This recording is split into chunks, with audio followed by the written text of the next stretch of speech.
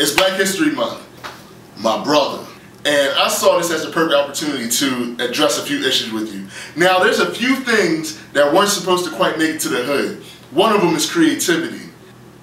Could you imagine if the NAACP had a hotline, like Miss Cleo, like, call me now. Could you imagine how niggas would react to that? You know, niggas can't have nothing good. I'm not talking about black people. I'm talking about ignorant niggas. Just watch the skit.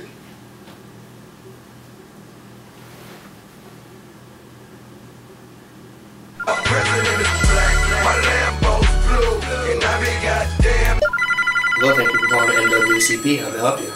Rawr! Excuse me, sir? Look, I need some help. Well, what may the NAACP help you with, sir?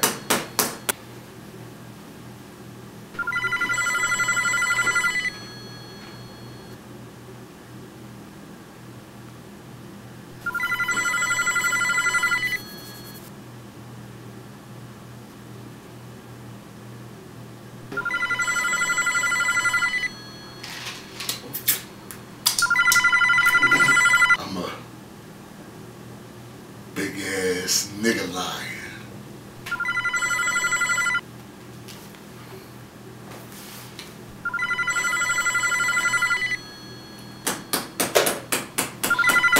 You see this right here?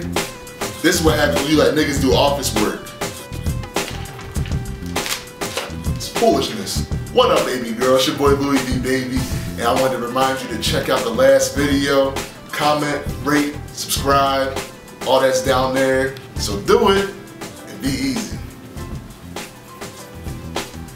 You know, that was the fifth nigga line that called today. Really? Yeah. That's crazy. Why can't niggas just tell the truth?